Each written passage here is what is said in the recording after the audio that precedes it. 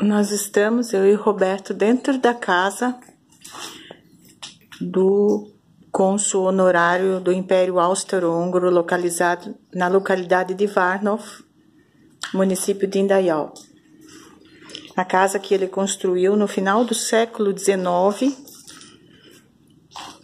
antes de casar e constituir família com Emily Geraldini, e aqui ele formou o comércio de onde tirou o sustento da família e manteve contato com Kaiser Franz Josef I da Áustria, do qual recebeu o título de cônsul honorário na grande colônia Blumenau.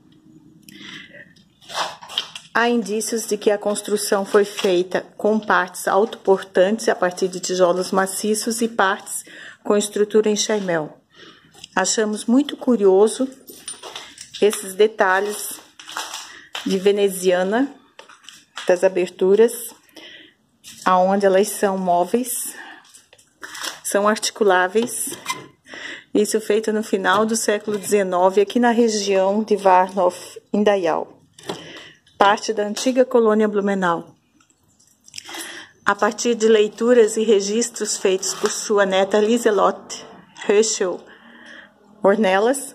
Soubemos que eles tinham nesse local fábricas de móveis, eles faziam móveis uh, esculpidos em madeira e também esse tipo de trabalho que provavelmente foi feito por ele e sua família e colaboradores.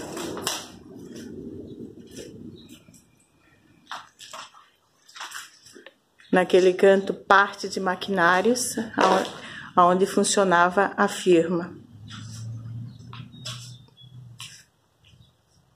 Para o registro.